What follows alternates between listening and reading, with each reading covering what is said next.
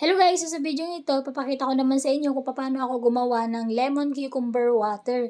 Sa panahon kasi na ito ngayon at napakainit, sobrang init as in dito sa Pinas. So kailangan natin minom ng maraming tubig para maiwasan nating magkaroon ng heat stroke or mag heat stroke guys. Kasi nga as in grabe, lalo kapag ka nasa bahay ka lang. So kailangan minom ka ng maraming tubig.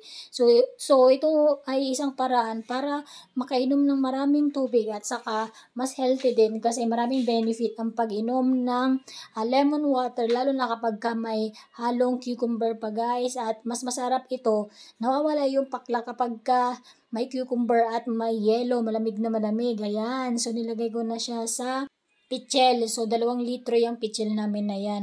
At, kinamay ko na kasi nga malinis din naman yung kamay ko. At kami lang din naman yung iinom, guys. Ayan o. Oh. So, pinuno ko pa yan. Nilagyan ko pa yan ng tubig para mapuno at maglasa na ng lemon at cucumber yung tubig bago inumin. Sarap to guys. Refreshing. Try nyo din. At saka maraming benefit din ang, ang pag-inom ng lemon water, lalo na pag may cucumber.